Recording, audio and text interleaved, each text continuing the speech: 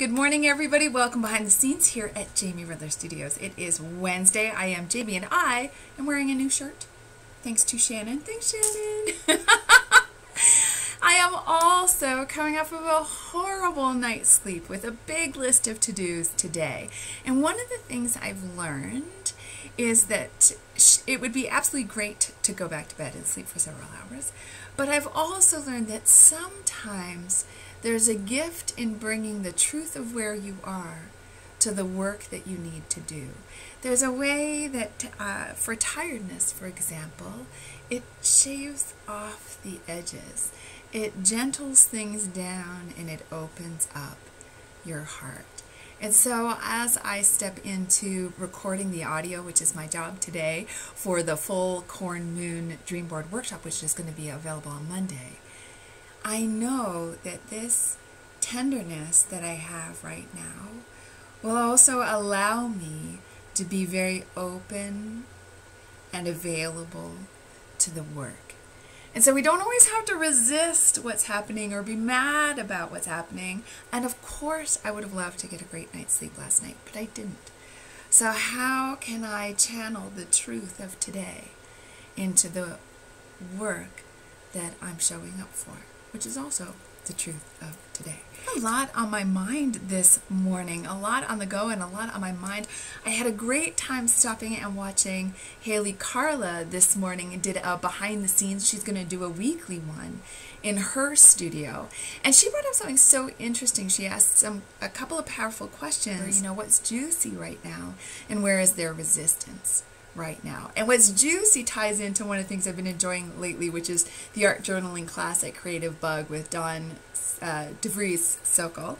And uh, that is juicy for me. And one of the things I did this morning, remember last week I shared that one of my strategies is to have things ready to go so I can kind of sneak up on them without even noticing that they're there. And so downstairs at my kitchen table, I have a art journal just open and sitting there. My colors for paint are already chosen and sitting there. So literally, this is my other strategy. Literally, I can probably go down there and paint that background in seven minutes.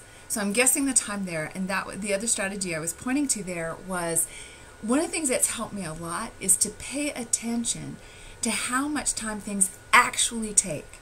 Not how much I think they're going to take, but how much they actually take. Because sometimes I make up that to sit and create an art journal background is going to take so long. Uh, now, setting up ahead of time helps. I have it on my kitchen table, but one of the things I bought, I don't know what they're called. I have to ask Shannon. You know those um, boards? It's just a very inexpensive board you can get at the art store, and I have it sitting on the table, so I don't have to worry about making a mess at all. And then when I go down, I'm actually going to pay attention to how much time did it take. Sometimes it is much less than you think. And getting things done during the time it takes to make a cup of tea is what taught me that lesson. So the other thing Hali asked is where is there resistance? And for me, one of the things that I've been resisting, even though you all know how important I think it is, is writing my morning pages. They, I know they take a half an hour, and when I'm busy, I find it really difficult to give myself the gift of that time, even though I know that sorting out what's in my head, what's in my heart, giving me that grounding time before I start always serves me well. So that's where there's resistance. So thanks, Hali, for sharing what's going on in your studio and for inspiring me in my studio today. It was great to look at those questions. And also, thank you so much. I've got a couple of great questions, one from Lisa and one from Dara to answer at the Podiversary. So that is coming up in September. It is five, Podiversary five. I can't even believe it. So if you have something that you want to know about me, about my creative life, about creative living in general, feel free to email me your question and I will answer them on the show in September. So that is it for me. It's time for me to make a cup of tea and sit. Ooh, maybe I can make my art journal page. and sit down and start recording for the full corn moon. And I gotta tell you, yesterday when I was working on it, I was really appreciating the energy of the full corn moon, especially this balance spot it is between appreciating all the blessings that have arrived in your life and paying attention to the blessings you want to welcome in. And this is a place that so many of us creatives have a hard time with. We feel like if we want more, we're being ungrateful and that we should just be thankful for what we have. And of course, it is so beautiful to be thankful for all the blessings that are in your life right now. And they are in part here because a while back you set some intentions to invite them in. So there's nothing wrong with looking forward and figuring out what is it that I want to invite in. When it comes to the harvest next year, what seeds do I want to have planted?